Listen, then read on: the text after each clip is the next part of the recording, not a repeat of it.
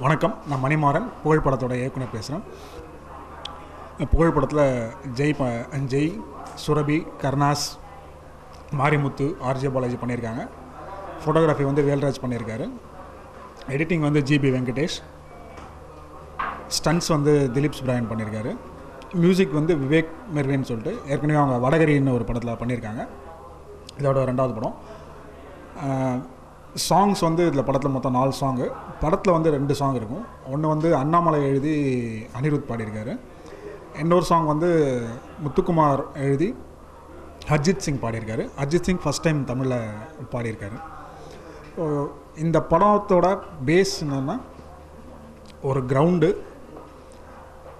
இது டவுனில் நடக்கிற ம கதை இது. இப்போது city city based village base நிறைய கதைகள் பார்த்துருப்பீங்க. டவுன் டவுன் வந்து ரொம்ப கம்மியான படங்கள் தான் வந்திருக்கு.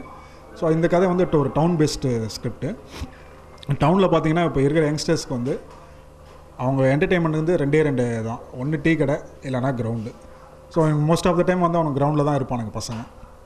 ஸோ அந்த கிரவுண்டுக்கு ஒரு பிரச்சனை வரும்போது ஒரு பொலிட்டிஷியனால் ஒரு பிரச்சனை வரும்போது அதுக்கு அகெயின்ஸ்டாக இந்த பசங்கள்லாம் எப்படி சண்டை போட்டு அந்த கிரவுண்டை வந்து மறுபடியும் இவங்களே தக்க வச்சுக்கிறாங்க. அப்படின்றது அந்த படத்தோட தீம் இது வந்து வேலூர் டிஸ்ட்ரிக்டில் வாலாஜாப்பேட்டைன்ற ஒரு ஊரில் நடக்கிற ஒரு கதை.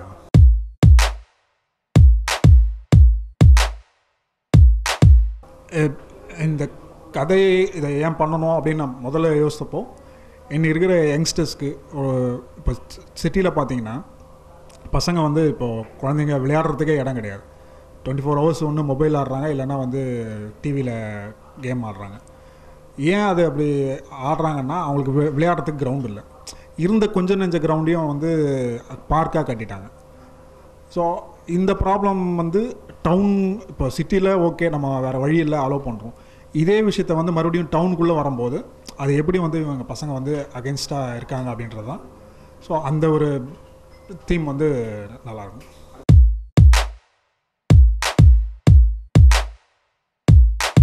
இந்த தாமதம் வந்து படம் ரிலீ படம் ரெடியாகி எல்லாமே இருந்துச்சு. ஆனால் அவங்களுக்கே தெரியும் ஒரு வாரத்துக்கு வந்து குறைஞ்சது அஞ்சு படம் ரிலீஸ் ஆகுது. ஸோ கரெக்டான படத்தை கரெக்டான டைமில் ரீச் பண்ணோம் அப்படின்னும் போது ஒரு ப்ரொடியூசருக்கு அந்த எடுத்துகிட்டு படம் எடுத்துட்டோம் ரெடி ஆகிடுச்சு ரிலீஸ் பண்ணிவிடுவோம் அப்படின்னு இல்லாமல் அதுக்காக வெயிட் பண்ணி அதனால் வந்து படத்துக்கு இன்ட்ரெஸ்ட் அதிகமாகுது அது எல்லாமே பொருட்படுத்தாமல் கரெக்டான டைம் படம் எடுக்கிறது முக்கியம் இல்லை அது கரெக்டான டைமில் ரீ ரிலீஸ் பண்ணணுன்னு வெயிட் பண்ணி ஒரு நல்ல டைமுக்காக வெயிட் பண்ணது தான் இவ்வளோ இவ்வளோ தாமதத்துக்கு காரணம்.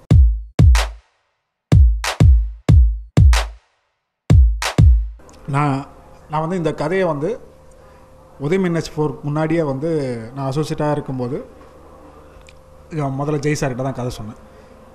செவன் இயர்ஸ் இதுக்காக வெயிட் பண்ணியிருக்கோம். அவரும் எனக்காக இந்த கதையை ஃபஸ்ட் டைம் கேட்டோன்னே ஒரு பிடிச்சிருந்துச்சி.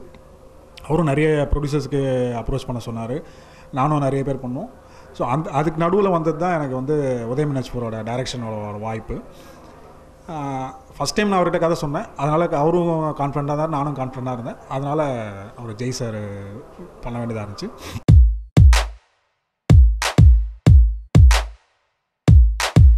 இல்லை இந்த கதை வந்து அந்த ஊரில் நடந்த ஒரு சின்ன இன்சிடெண்ட்டு அதை பேஸ் பண்ணி பண்ணும்போது நமக்கு வந்து அதை வந்து சீட் பண்ணுறத விட அங்கேயே போய் எடுத்தால் பெட்டராக இருக்கும் அப்படின்ற ஒரு சின்னது தான் நமக்கு எங்கே கதை நடக்குதோ அங்கேயே போய் எடுக்கும்போது நமக்கு இன்னொரு கான்ஃபிடண்ட்டாக கான்ஃபிடென்ட் ஒன்று கிடைக்கும்.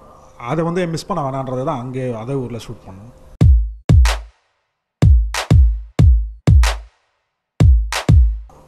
அவர்கிட்ட வந்து கற்றுக்கிட்டதுனால தெரிஞ்சுக்கிட்டதுன்னு வேணால் சொல்லலாம். க பர்ஃபெக்ஷன் வந்து அப்படி அப்படி அதை மிஸ் பண்ணவே மாட்டார் அவர். சுற்றி எத்தனை பேர் இருந்தாலும் எத்தனை பேர் திட்டினாலும் சரி எத்தனை பேர் பாராட்டினாலும் சரி அவரோட வேலையை அவர் ரொம்ப பர்ஃபெக்டாக பண்ணணும்னு பார்ப்பார். ஸோ அதை அவர்கிட்ட வந்து கற்றுக்கிட்டது கற்றுக்கிட்டு இருக்கோம் அதை ஃபாலோ பண்ண முடியுமான்லாம் தெரில நம்ம.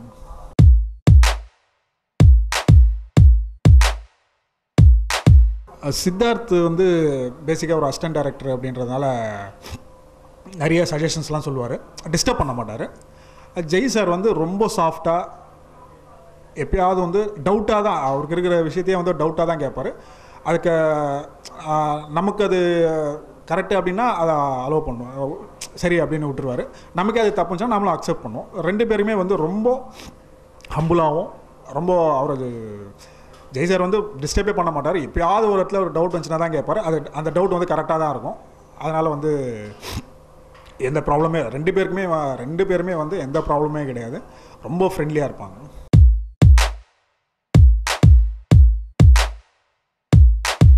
இந்த படத்துக்கு வந்து முதல்ல பொடியன் தான் டைட்டில் வச்சுருந்தோம். அது சில காரணங்களால் நாங்கள் ரினியூ பண்ணாமல் விடாமல் பண்ணாமல் விட்டோம். அதுக்கப்புறம் வேறு டைட்டில்ஸ் எல்லாம் நிறைய யோசித்து பார்த்தோம். எதுவும் செட் ஆகலை. அப்புறம் படத்தில் வந்து ஹீரோவுக்கு பேரே வந்து புகழ். ஸோ ஏன் அதை புகழே வைக்கக்கூடாது அப்படின்னு சொல்லிட்டு ஒரு டிசிஷன் வந்தோம்.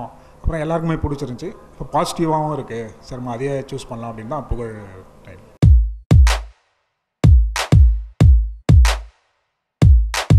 வேல்ராஜ் சார் வந்து எனக்கு வந்து பொல்லாதவன்லேருந்து பழக்கம். அப்புறம் உதயநேஸ்வரில் அவர் பண்ணியிருக்காரு.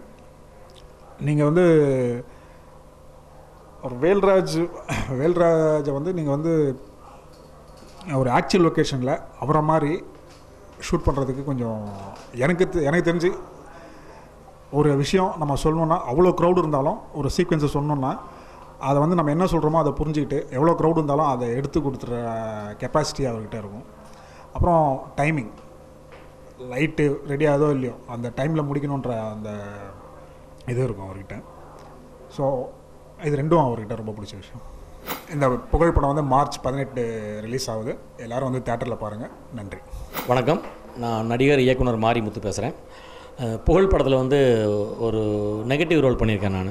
நெகட்டிவ் ரோல்னால் இது வந்து நெகட்டிவ் ரோலாக இருக்கணும் அப்படின்னு வடிவமைக்கப்பட்டு அதுக்காக சீன்ஸ் யோசித்து அதுக்காக டயலாக் எழுதி அப்படி டெரைவ் பண்ண கேரக்டர் கிடையாது.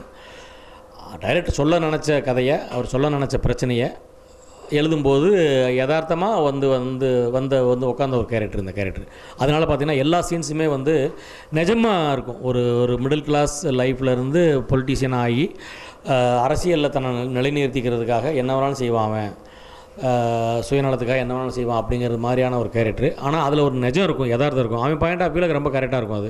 இன்னொரு ஆங்கிள் யோசிச்சு பார்த்தீங்கன்னா ஆமாப்பா அவன் வாழணும்ல அவன் அவன் அவன் தன்னோட தொழிலை பார்த்துக்கணும்ல அதுக்காக தான் அதெல்லாம் பண்ணுறான் அப்படின்னு இருக்கும். பட் அது என்னென்னா அவன் தன்னை காத்துக்கிறதுக்காக தன் தொழிலை காத்துக்கிறதுக்காக செய்கிற சில விஷயங்கள் ஒரு ஊரையே வந்து ஒரு ஊரோட எதிர்காலத்தையே வந்து கேள்விக்குறியாக்குது அப்படிங்கிறது அந்த படத்தில் நான் நான் புதுசுன்னு நினைக்கிறது.